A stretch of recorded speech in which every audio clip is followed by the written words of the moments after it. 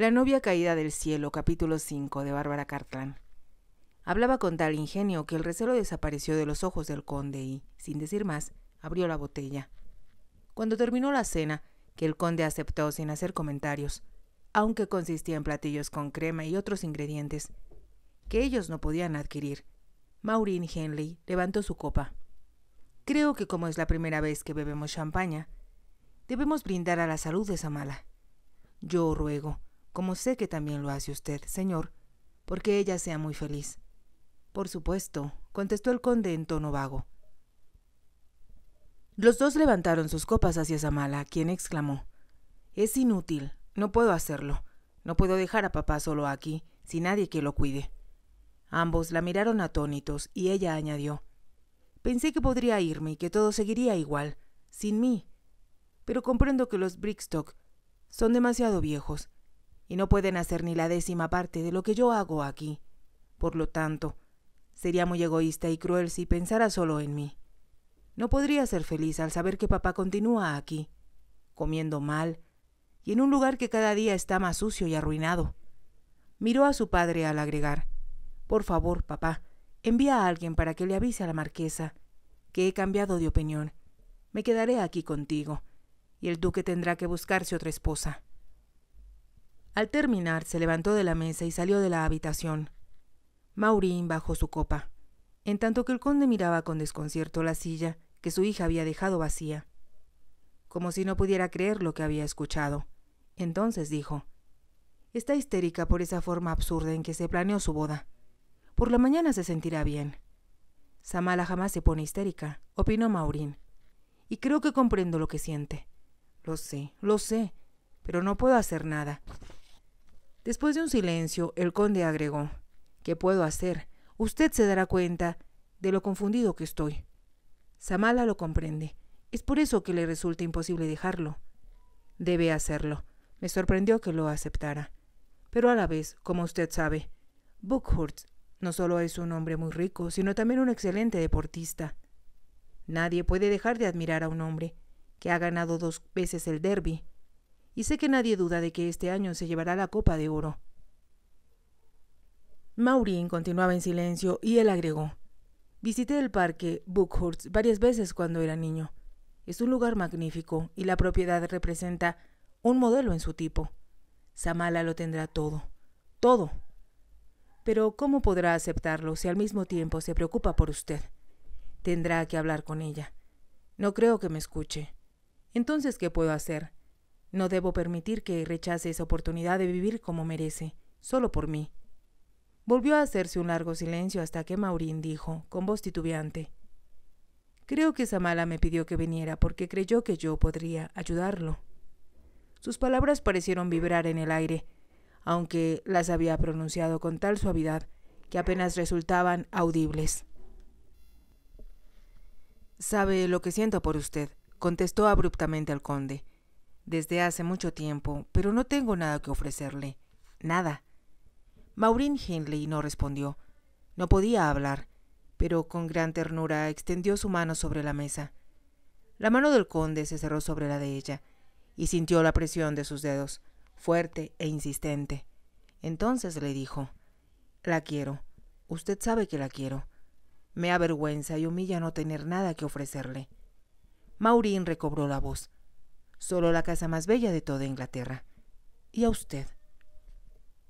En su dormitorio, Samala rezaba. Ella había hecho cuanto había podido, y la única ayuda en ese momento solo podía provenir de Dios. Sabía que su intuición no la había engañado, y que Maurín y su padre se amaban, aunque el conde no sintiera por ella el mismo amor que había sentido por su madre. Sería una compañía tierna y dulce para él, además de ser una esposa adorable. Pensó que en años anteriores debía haberlo convencido de que tomara parte más activa en los asuntos del condado y conviviera con sus amigos. Debió combatir sus objeciones y recibir más gente en el priorato, aunque tuvieran poco que ofrecerles.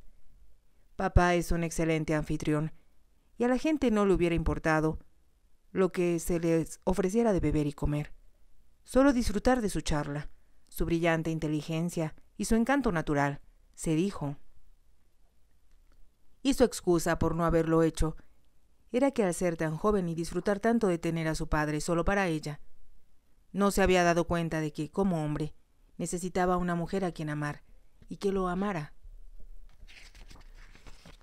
También pensó ahora, si Dios era misericordioso, hasta podría tener un hijo que fuera su heredero y continuara la tradición familiar que establecía que el título pasara de padre a hijo. Sé que si se casara con Maurín todo saldría bien, se dijo, pero temía que el orgullo de los Wynne resultara más poderoso que el amor. Por favor, Dios mío, ayúdalo, rogó. Pensó en las veces en que sus plegarias habían sido escuchadas en tanto que todas las que elevaba por dinero jamás recibían respuesta. Y en ese momento comprendió que este caso era semejante. Si su padre y Maurín se amaban, el hecho de que ella tuviera mucho dinero carecía de importancia, comparado con la maravilla de su amor. Se sentó junto a la ventana abierta, y al contemplar las estrellas que surgían en el cielo, pensó que tal vez debería rezar por sí misma. Comprendía muy bien que el duque, aunque deseara casarse con ella, no la amaba, por la sencilla razón de que ni siquiera la conocía. Sabía que lo habitual entre la realeza y los grandes aristócratas era que los matrimonios se arreglaran. No se trataba de que dos personas se conocieran y se enamoraran, sino de que sus linajes, educación y, en muchos casos, la parte financiera, dieran lugar a una unión ventajosa para ambos contrayentes.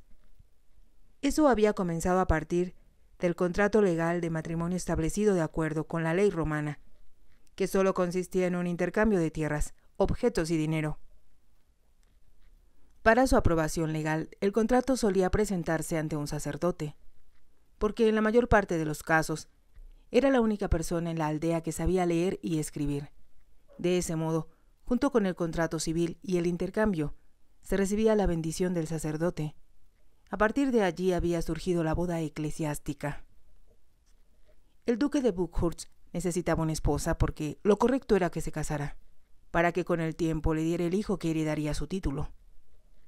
Pero le resultaba incomprensible que la hubiera elegido a ella, a menos que, por alguna razón que ignoraba, prefiriera a la familia Wynne por sobre todas las otras familias aristócratas, que sin lugar a dudas se habrían sentido orgullosas de emparentar con él soy afortunada, muy afortunada, le dijo a las estrellas. Pero, por favor, aunque parezca ambiciosa, deseo que me ame, y como tal vez le resulte difícil, ayúdenme.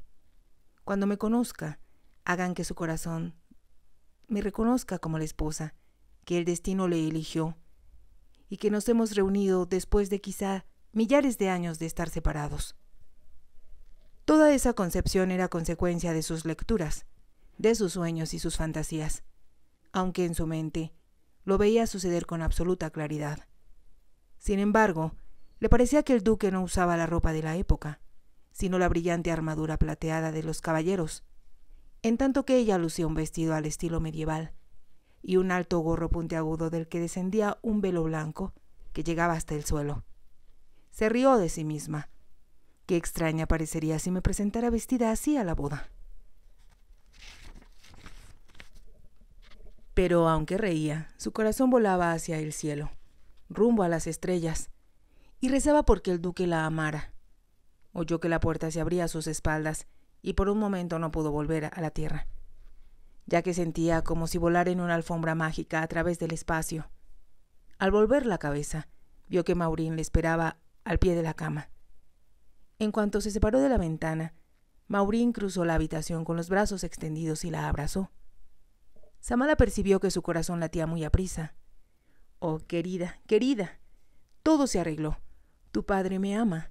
Nos casaremos y viviré aquí, en esta hermosa casa, donde lo cuidaré. Samala lanzó un grito de alegría. Las lágrimas rodaban por las mejillas de Maurín y sus ojos brillaban como estrellas. El duque, que llegó a su casa un día antes de la boda, se sentía de pésimo humor.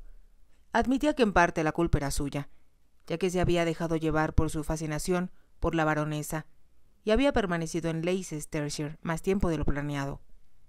Además, al llegar a Londres, se encontraron con que el esposo de ella había tenido que partir hacia Holanda.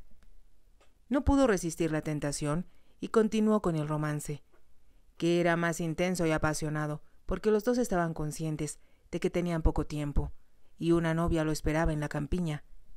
Por supuesto, él continuaba detestando la idea de que lo obligaran a casarse, después de tanto tiempo, de luchar por evitarlo y el saber que Edmund se aprovechaba lo más que podía de su posición de presunto heredero. No facilitaba las cosas. Hasta declaraba que no creía que el duque pudiera tener un hijo, ya que poco después de su nacimiento, una bruja le había lanzado la maldición de que ningún hijo suyo heredaría el ducado. Por supuesto, era solo una invención de la mente desviada de Edmund, y la mayoría de la gente se reía y lo consideraba una estupidez. Pero el duque sabía que sus amigos, y tenía bastantes, aprovecharían la historia porque sabían que así le provocarían un profundo disgusto. Por lo tanto, se dedicó a buscar consuelo y olvido en los brazos de la baronesa, cuyos encantos aumentaban al solo pensar que en su casa de campo le esperaba la familia que había llegado para la boda. Cuando por fin salió de Londres, uno de sus caballos perdió una herradura. Aunque se trataba de un incidente sin importancia, bastó para enfurecer a quien siempre trataba de romper sus propias marcas de velocidad. El duque contaba con caballos de repuesto a lo largo de todos los caminos, pero aún así debió viajar un buen trecho a paso lento, hasta poder sustituir al animal. Y cuando por fin distinguió la silueta de la casa, se dio cuenta de que llegaría tarde a la cena, lo que le disgustaba más que nada. Y no se sintió mejor al advertir que una tienda de lona ya se levantaba cerca de su casa, donde al día siguiente sus empleados e inquilinos festejarían su boda. Sintió el impulso de hacer dar vuelta a sus caballos y volver a Londres, pero entonces recordó la seductora voz de la baronesa que le decía Te esperaré, Buck. Sabes que no haré nada para interferir en tu vida. Pero siempre estaré aquí, si me deseas. Le había hecho esa conmovedora declaración con los rojos labios entreabiertos, muy cerca de su rostro. Y el exótico perfume francés que emanaba de ella era tan incitante como el brillo de sus ojos y la presión de sus brazos alrededor de su cuello. La baronesa me espera, se dijo ahora, pero también la aburrida e insulsa jovencita que mis hermanas me eligieron como esposa. Todo lo que concernía al matrimonio le parecía una gran ola que se abalanzaba sobre él y lo ahogaba de horror. Podía imaginar con toda claridad el aburrimiento que significaría escuchar la poca interesante charla de una joven que no tenía ninguna experiencia sobre la vida, y mucho menos con los hombres. Estaba acostumbrado a los duelos verbales y a las palabras de doble sentido que siempre terminaban con el contacto de dos cuerpos excitados. También detestaba la idea de ver las sonrisitas irónicas de sus familiares y amigos cuando recorría el pasillo de la iglesia, ya convertido en un hombre casado con una mujer que no había elegido, pero que era adecuada porque su linaje era tan antiguo como el suyo. Adecuada, exclamó para sí, y la palabra pareció un insulto. Pensó ahora, aunque demasiado tarde, que había sido un tonto. Si tenía que casarse, Debió haber elegido una mujer de su círculo, ya que había muchas viudas que se habrían apresurado a aceptar, y cualquiera de ellas lo mantendría entretenido con recepciones para sus amigos, y sería tan sofisticada como para cerrar los ojos ante cualquier indiscreción de su parte, a la vez que él haría lo mismo con ella. Pero no, había delegado la elección en sus hermanas, y ellas, por supuesto, se ceñían a la idea tradicional que indicaba que la novia debía ser joven de buena familia y competente para darle los hijos que requería la sucesión. Recordó que él mismo había insistido en que fuera ingenua y pura, y pensó que debió estar fuera de sus cabales para solicitar semejante tontería. Lo que deseaba era una mujer como la baronesa, solo que sin marido. Con mirada tenebrosa, subió la escalinata y cruzó la puerta. Bienvenido a casa, su señoría, lo saludó el mayordomo con respeto. El duque se dirigió hacia sus habitaciones, y el horror ante lo que le esperaba aumentó al notar que el vestíbulo y los pasillos estaban decorados con flores blancas. El dormitorio principal, rediseñado y redecorado cuando su abuelo reconstruyó la casa, era una habitación espléndida e imponente. Allí volvió a asaltarlo el aroma de las flores, lo que aumentó su irritación. No provenían de su habitación, en cuyo caso las habría arrojado por la ventana, sino del pequeño salón contiguo, que conectaba su dormitorio con el que siempre habían utilizado las duquesas de Buckhurst. El solo pensarlo lo indignó más. ¿Por qué la cama? Herencia de la época de Carlos II, era una mezcla de ángeles, dorados, corazones y coronas, en tanto que el techo, pintado por un maestro italiano, mostraba a Afrodita ceñida en un abrazo con Ares, el dios de la guerra. Casi le gritó a su ayuda de cámara. Abre las ventanas, la pestilencia de las flores es abrumadora. Son lirios blancos, su señoría. La marquesa los consideró apropiados para el salón privado y la cámara nupcial. Los labios del duque se apretaron y solo con un esfuerzo sobrehumano logró reprimirse para no expresar su opinión al respecto. Cuando se bañaba con agua fría comenzó a sentir que algo de su tensión e indignación se desvanecían, y recordó que sería un error que alguien, excepto sus hermanas, advirtieran sus verdaderos sentimientos. Comprendía que si la casa estaba atestada de familiares, resultaría difícil ocultar, que ni siquiera conocía a la joven con quien se casaría y, además, que detestaba no solo la idea del matrimonio, sino también a la mujer que lo había aceptado. Hasta este momento nunca había pensado en ella como persona, sino solo como una esposa que no deseaba. Consideró que debía pertenecer al tipo que le inspiraba mayor desprecio el de las trepadoras sociales. Una mujer que aceptaría como marido a cualquier tipo de hombre, siempre y cuando le ofreciera un título y las comodidades correspondientes. Demasiado tarde se dio cuenta de que había sido arbitrario al insistir en que la boda se realizara en un plazo tan breve.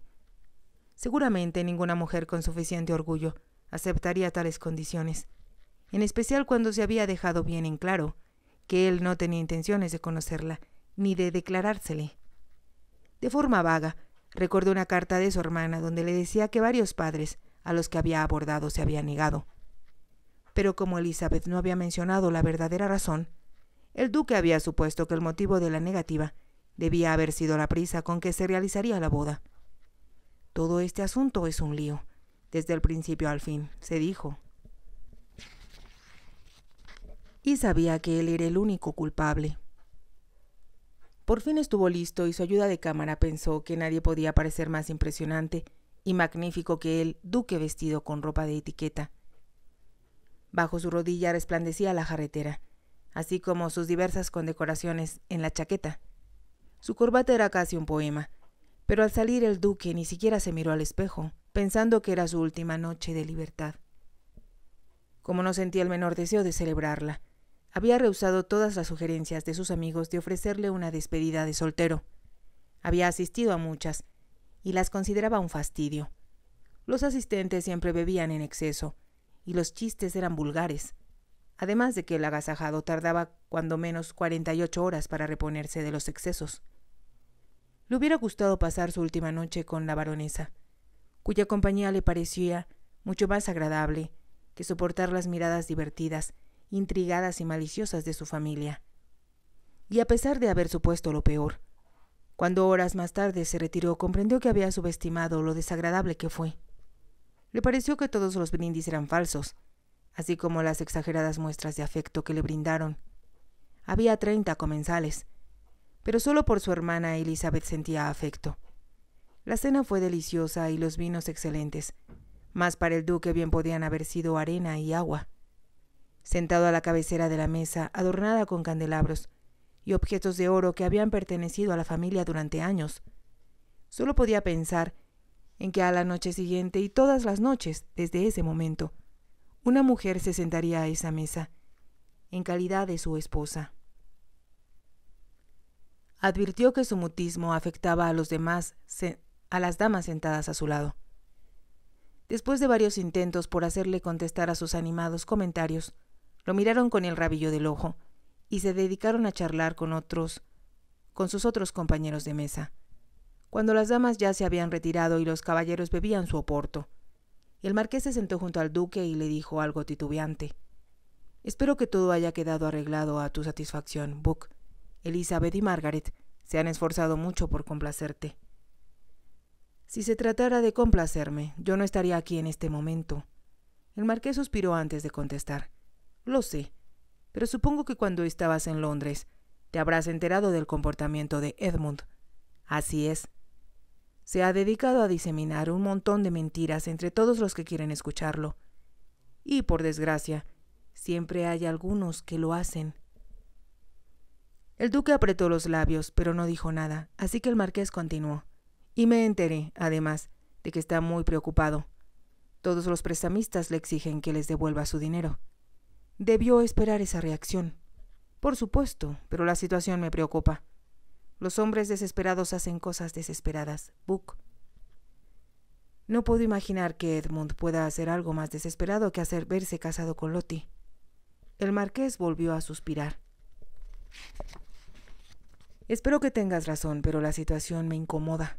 ¿Y cómo crees que me siento yo? Antes que el marqués pudiera responder, alguien reclamó la atención del duque.